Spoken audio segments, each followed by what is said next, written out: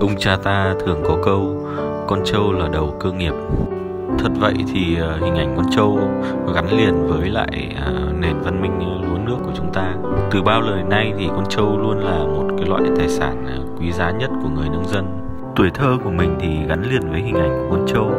Nó rất đỗi quen thuộc từ những cái buổi chiều chăn trâu trên cánh đồng quê hương cùng chúng bạn.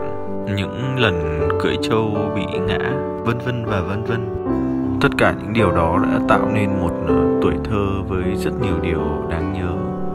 Và hôm nay mình đã quyết định vẽ một con trâu giống như là vẽ lại tuổi thơ của mình vậy. Câu hỏi đặt ra là vẽ một con trâu liệu có khó không?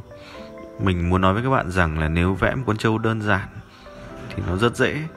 Nhưng mà để vẽ một con trâu mà đẹp chân thật và có cảm xúc ở trên khuôn mặt thì đó là điều vô cùng khó khăn thực sự là mình đã mất đến 6 giờ đồng hồ để thực hiện cái bức tranh này.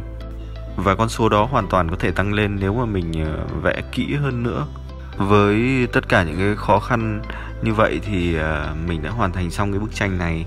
Thì cũng rất mong rằng các bạn sẽ yêu thích nó và đăng ký kênh để đón chờ những cái video tiếp theo của mình.